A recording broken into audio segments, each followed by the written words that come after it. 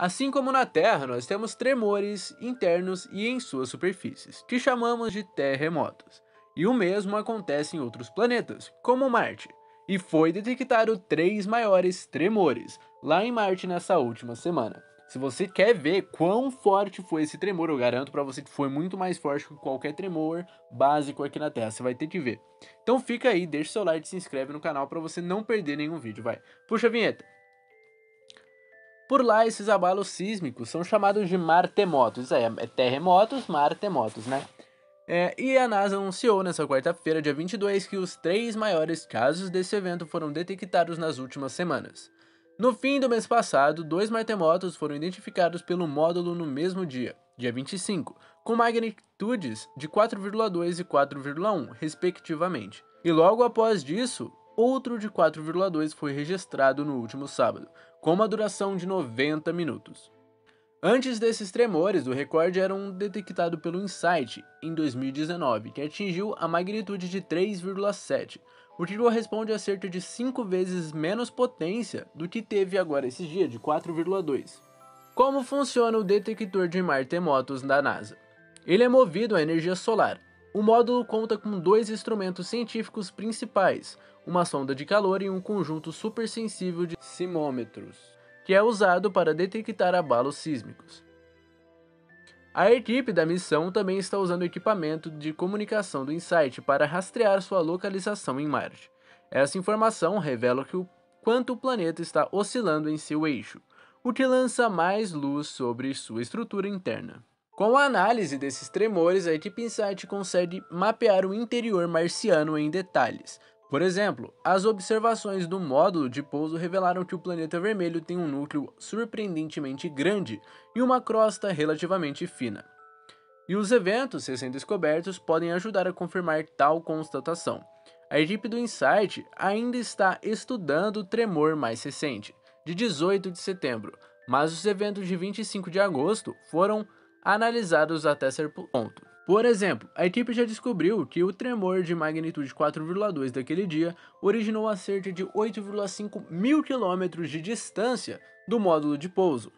No entanto, o epicentro desse tremor ainda não foi descoberto. Uma possibilidade especialmente intrigante é o Valles Marineris, lá em Marte, o sistema de cânions epicamente longo que marca o equador marciano. Já em relação ao segundo martemoto registrado naquele dia, a equipe informou que ele ocorreu muito mais perto da sonda, cerca de 925 km de distância. Enquanto o tremor de 4,2 ocorreu em frequências baixas, o de 4,1 exibia vibrações rápidas de alta frequência, de acordo com as análises.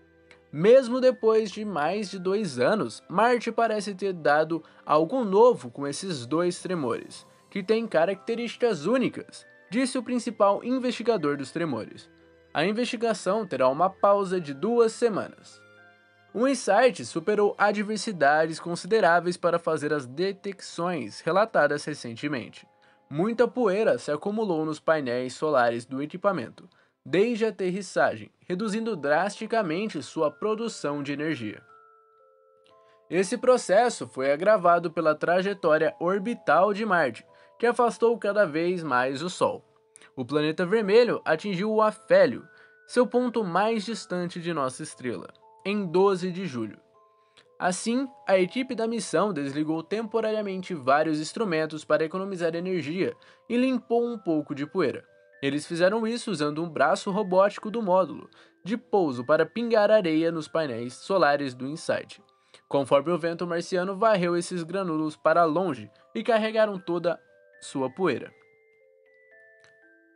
Esses esforços permitiram que o Insight mantivesse níveis relativamente estáveis durante esse pequeno tempo. Se não tivesse agido rapidamente, no início desse ano, eles teriam perdido o robô.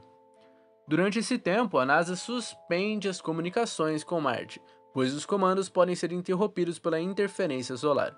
A interrupção deve acontecer na próxima quarta-feira, dia 29, durante duas semanas. Segundo a NASA, a missão InSight está prevista para encerrar suas atividades 14 de outubro, retornando 14 dias depois. E aí, o que, que você achou desses abalos sísmicos do planeta Marte, hein? Você gostou do vídeo? Se sim, se inscreve no canal e ativa as notificações. Eu não sei nem por que, que eu tô pedindo mais, né? Se você não faz, eu tô ficando triste, cara. Se inscreve aí, ativa as notificações para você não perder nenhum vídeo. Assiste um desses dois vídeos que tá aparecendo na tela que você vai ajudar muito. Foi esse o vídeo de hoje. Tchau!